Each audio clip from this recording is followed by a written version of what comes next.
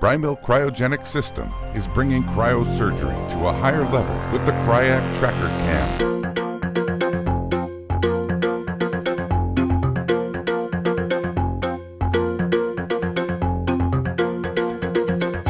Cryac Tracker Cam features include temperature monitoring. The infrared light sensor continuously and safely monitors the skin temperature of the freeze cycle. Color-coded lights that shine on the lesion to indicate how fast the skin temperature is decreasing and when the desired skin temperature is reached. Easy to see high definition LCD screen displays the procedure with all of the vital information, including skin temperature and time. The procedure, as well as the screen information, is recorded to a micro SD memory card. Then archive the procedure to your computer for later viewing.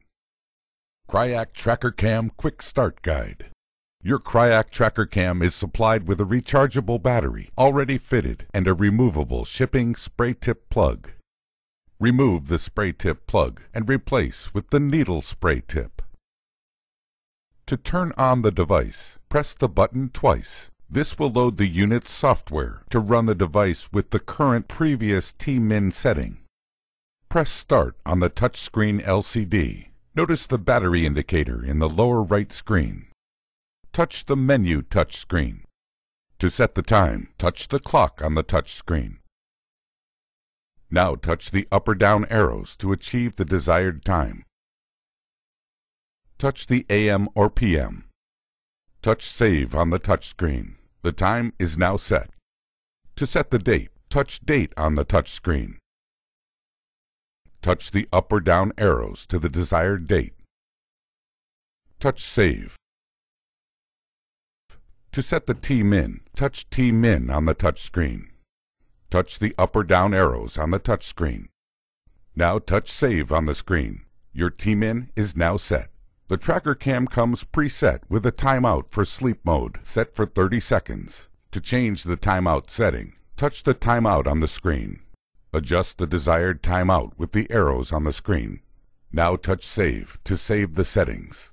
If the unit goes into a sleep mode, press the on-off button once, and the unit will go into start mode. Now your unit is ready to go. When the Start touch screen is touched, the video screen will become active. The room temperature will be in the upper left-hand corner of the LCD screen. Now focus the two blue beams together on the back of your hand. The temperature should read minus 30 degrees C, plus or minus 3 degrees C. During treatment, the LEDs and the LCD screen will change colors as following. Blue equals actual temperature to 0 degrees C. Green equals 0 degrees to T-min. Red equals less than T-min. To turn the device off, hold the button for more than 3 seconds and the unit will turn off. When the battery gauge on the LCD screen goes to 1 bar, the unit must be plugged into the battery charger and left charging for 4 to 5 hours.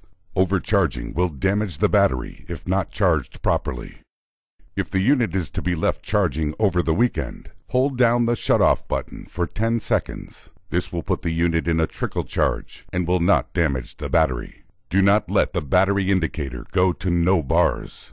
If this occurs, the unit will not charge the battery.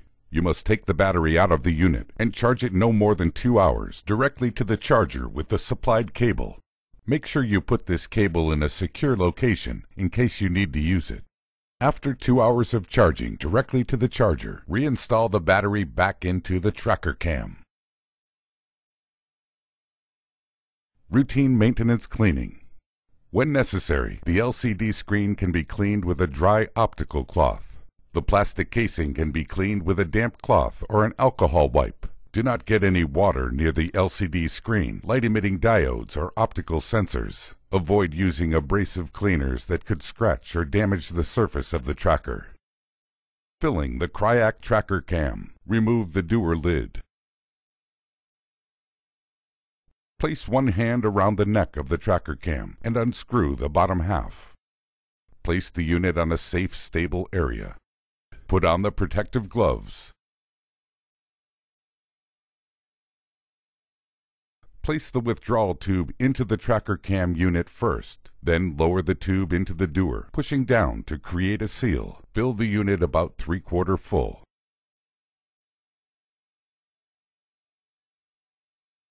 Release the seal by slowly raising the withdrawal tube with the tracker cam unit out of the dewar.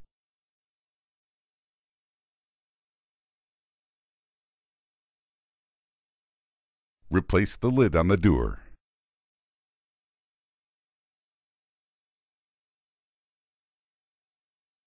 Screw the tracker cam unit back together. Now it's ready to use.